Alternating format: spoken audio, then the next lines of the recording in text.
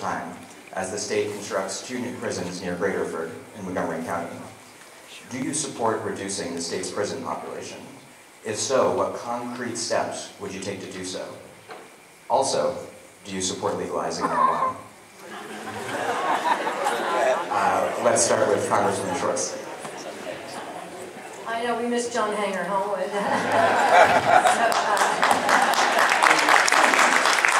so, let me say this. John was right uh, that, uh, at least part, that, that in fact we are seeing incarceration from simple possession of marijuana, and that is uh, unnecessary. It, it clogs our criminal justice system, and we should end that. Um, and I support that. And we should also support medical marijuana, not quite the, the, question right now. But I thank John for raising those issues and, and bringing them to the fore. Uh, let me say this. The, the cost of incarceration uh, is a major issue for the state. Uh, what we need to do is to make sure that we have uh, smart policies, not ones to just trigger incarceration. Um, and what that, and what I mean by that, and I was there during Governor Ridge's time when we actually, when he, I pushed back on this. I don't remember Jack's position on this or not, but, uh, but in fact, in, in making sure that we have to reverse some of what he did, particularly for juveniles. First offenders, uh, nonviolent crimes, uh, we have got to make sure that we reverse that trend of putting them in jail, hurting their, their opportunities for a lifetime. Uh, we have to do more to make sure that, uh, that people who are ex-offenders, who are leaving incarceration, actually have the skills and ability to get a job. Otherwise, what else do they do but turn to, uh, to another crime? We know that recidivism is huge in the state. Uh, we need to do a much better job of post-incarceration and helping people succeed. So we need to punish those who need to be punished. We need to keep those in jail who are going to be seriously dangerous to, uh, to the rest of us. But we've got to be a lot smarter about this and a lot fairer uh, and a lot less biased. Thank you. Auditor General. 40% of, of those incarcerated in state prisons today are nonviolent offenders, the majority of which are there for drug offenses. Do we need to decriminalize uh, the use of drugs and not pe put people in state prisons? You're darn right we, we do. But there's a way to address it. And, and I'm not going to sit here and say these are not serious offenses if you're selling heroin and cocaine. And believe me, it's going on everywhere in Pennsylvania. It's, it's a disease. Uh, and it's touched every family, including mine. And, and we need to get a handle on it. But it's not putting people in with hard criminals who are selling marijuana. It's really putting them on probation and parole and giving them an ankle bracelet and, and making them attend proper uh, sessions to address their problem. So yes, we need to decriminalize many of these nonviolent offenses and get people out of prison. The cost of incarceration is $35,000 a year. An ankle bracelet is $3,000 a year. What makes more sense and what's better for the individual? I'm for the legalization of marijuana for medical purposes only, with very tight controls and it being properly taxed. Marijuana is an entry-level drug. And believe me, uh, when the, the, drug problem in our Commonwealth today is ra rampant, and we need to do more to address it. Thank you. Treasurer McCord. It, well, first, we need to be very skeptical about the prison industrial complex and, and the school-to-prison pipeline and how it in particular is destroying minority communities. Uh, one of the great points that John uh, would make, we, it's clear we miss him, is that you're five times more likely to be sentenced if you're African American on a marijuana offense versus a white person for the same usage. Uh, I, I, clearly would want to attack that, that prison industrial complex. I, I, also am proud that I think I can attract some of the votes from what I ribbyingly call the, the Dwight Eisenhower wing of the Democratic Party. Dwight Eisenhower was pro-integration. He, he, he, was president of an Ivy League school. He was skeptical of what? The military industrial complex. And he believed in this woolly-haired liberal idea that there was such a thing as a productive public sector investment. You need to be skeptical about the aggregations of power in the hands of the very rich. That's what's going on when Tom Corbett replaces 154% of the stimulus money to build prisons while cutting education. We will attack I could return at length on marijuana, but the core point is, we need to be thoughtful about this. Don't just chase the latest polls. Uh, a couple of core points. Patrick Kennedy talks about the danger of sort of normalizing marijuana consumption, as Jack was referring to. On the other hand, if we're going to go there, we need to examine the evidence, and I think you would want to, if you go there, legalize it so you can both regulate it and tax it, create good jobs and revenues to invest in things the public needs. Thank you. Secretary Thank you. Just to add to some of what uh, Rob was saying, that if we need any more evidence in how toxic that uh, schools to jails uh, continuum has gotten, the situation in northeastern Pennsylvania, the cash for kids, where kid, where people are making money, ruining the lives of, of young kids, tells us everything about sentencing can and should be up for thorough reexamination. I think we have to fully look at the, the, the issue of mandatory minimums in particular. That is driving this whole uh, cycle that we are talking about here that does nothing resembling good. And I would take that on. Uh, gentleman stopped me on the way in, and he added to the equation pardons. Uh, the pardon system is another tool that we have to look at to use to see if we can give a young person their life back. Uh, I also am very proud to have uh, supported and stood with uh, Jordan Harris and others who are calling for the second chance legislation. Give young people a second chance, especially when they have shown that they will work hard and do the right thing, and I will stand with them. Uh, on marijuana, listen, it's part of that continuum where nonviolent offenses we do we have to completely re-examine, and I would. I am for uh, the availability of marijuana for medical necessity. I've not been for, and I'm not for the full recreational legalization of marijuana. Thanks. All right, thank you. Um, a quick follow-up, uh, which begins with a plug of the current city paper, which is out there, in which I had a story describing the decline of commutations of life sentences in Pennsylvania. Governor Shapp in the 1970s commuted hundreds of life sentences. Um, that has declined precipitously in recent years. Governor Corbett has so far commuted zero. Would you take seriously your powers of um, commutation if elected governor? Uh, let's start with uh, Auditor General Wagner. Well, it would depend on the offense. Sure. And, and I, that's a very difficult question to generalize uh, in terms of my opinion.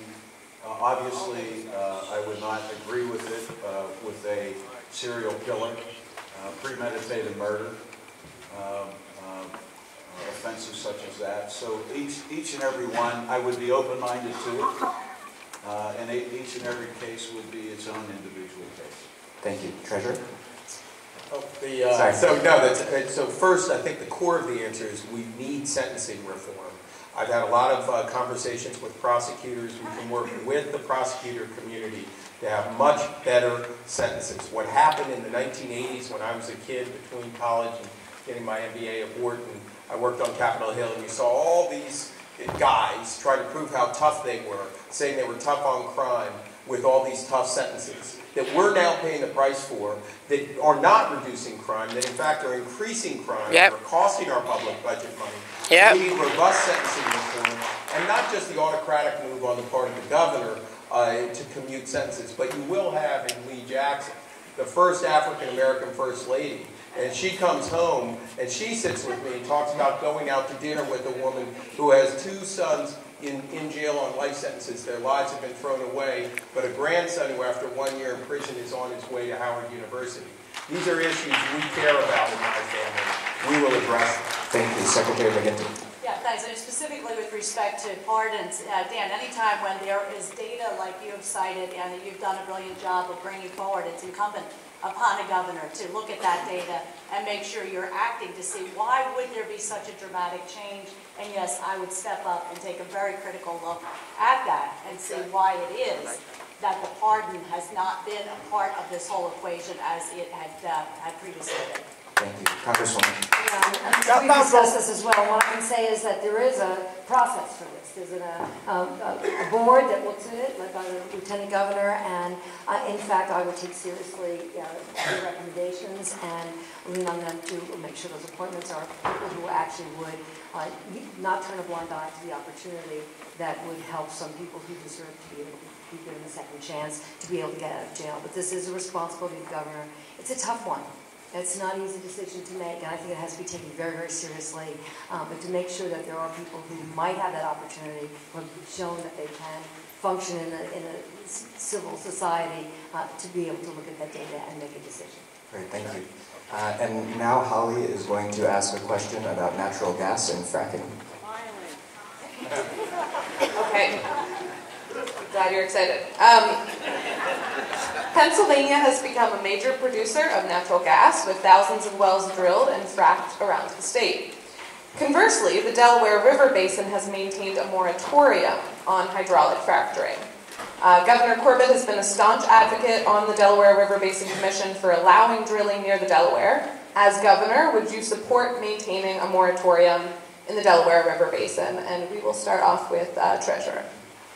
Yes. I should now figure out how to consume it. So the short answer is yes, and I do appreciate the feedback, and I appreciate the, the civility of those who protest and say ban all fracking. Now, I think you bring up a lot of important environmental concerns and the need to engage in the quest for evidence and scientific inquiry in a McCord administration will create thousands of STEM-related jobs, science, technology, engineering-oriented jobs, for young people who will engage in monitoring what's going on with fracking. Yes, it's been done in other states, but under very different circumstances. So we will zone it more aggressively. We will repeal and replace what Tom Corbett should have known was bad law. Finally, the courts are telling him that. And we will tax it appropriately. I have the boldest approach on this, generating $1.6 billion, rising to $3 billion as a piece of the funding puzzle so that we can do things like fund pensions for senior citizens and invest in higher education and have appropriate, uh, uh, appropriate uh, public education uh, funding at every level across, across the Commonwealth. Tom Corbett was wrong when he said that basically behaving like a wholly owned subsidiary of the Marcellus shale industry would lift the entire Pennsylvania economy. The evidence is in, it didn't work. We need to kick Tom Corbett out of office. Yes. Yes. Thank you. Well, thank you very much, and that's a good jumping off point. Uh, This, this question raises something that I have uh, been proud to dedicate my entire career to, and that is breaking down the myth that people like Tom Corbett would have us believe, that if we dare try to protect our air, land, and water, it's going to cost our jobs. That is a myth, it's not true, and his performance on the environment and jobs tells the tale. We're 48th in job creation at a time when he has taken the environmental cop off the beat we would turn every bit of that around. With respect to the Marcellus, I have laid out a very detailed plan as to where we need to have a much more forward-looking approach on clean water, reducing water consumption, reducing methane emissions from the production uh, of, uh, of Marcellus, and also making sure we've got the environmental cop on the beat. We do not need midnight dumpers in Pennsylvania, and I would make sure that we had that uh, adequate and effective enforcement. Second, on the point about solar and wind, you bet. It's something as vital as energy. We have to have a diversified energy portfolio. For our entire history as a country, we put all of our energy eggs in one basket, that's fossil fuels. When I was secretary, we diversified. We were number one in wind. We were number two in solar. I would bring us back in that direction. Now, the question was asked specifically about the Delaware River Basin. When I was secretary, I also had the privilege of coming to know that some of the most sensitive streams, high-quality streams in Pennsylvania, if not the country, are in the headwaters of the Delaware River. And Special, special protection is needed there. Thank you. Congresswoman? Well, I'll start with a specific answer. Um, I have already said, and I will say again, that I support the continued moratorium uh, in the Delaware River Basin. Also, when I came out with, uh, with my position on, uh, on energy and um, on the environment, um, I actually talked very much about local control. Since then, the state courts agreed with me, and that's a good thing, uh, that we will, that we will respect local control on drilling. Um, That's important here, it's important uh, in uh, in the Delaware River Basin, but across the state. So here's the, here's the fact, is that we don't trust Tom Corbett on this issue at all. Uh, and we have good reason to. We need a governor who will actually take seriously the issues of uh, safety of clean water and air, of using the very best science uh, to create the very highest standards, and yes, then enforce them. Uh, That's what we can do, it's what we should do. Uh, We should also make sure that this is not the answer uh, to our energy use in the future. We should make those investments in in wind and solar, and I'd add hydro, and I would add energy efficiency. Done some work on this to make sure that we are building more energy efficient buildings and homes, and that we are building more sustainable, greener communities. Done that work across my district as a member of Congress, uh, part of the Little Bulls Community Task Force, and I know we can do this. We can protect the environment, um, and we must. It is part of our future, and we should certainly uh, make sure that we tax those billers and use those dollars to protect our environment and to grow this economy. And as governor, I will. Thank you. Auditor I, I'm not for drilling in state parks or public lands. Uh, And, and in fact, uh, I think anyone that pollutes our water should be shut down. It's really that simple. At the same time, I believe there was a court ruling that local communities do have jurisdiction. And, and I think it, it should be up to them. I mean, we have to follow the court ruling. Where that all continues to go, uh, I'm not sure, but um, let's face it, there is enough private land in Pennsylvania uh, where a drilling can occur, uh, and it does not have to impact uh, public property. We have 80,000 miles of rivers and streams, I'm sure Katie knows this well, uh, in Pennsylvania. 5,000 of those 80,000 are polluted.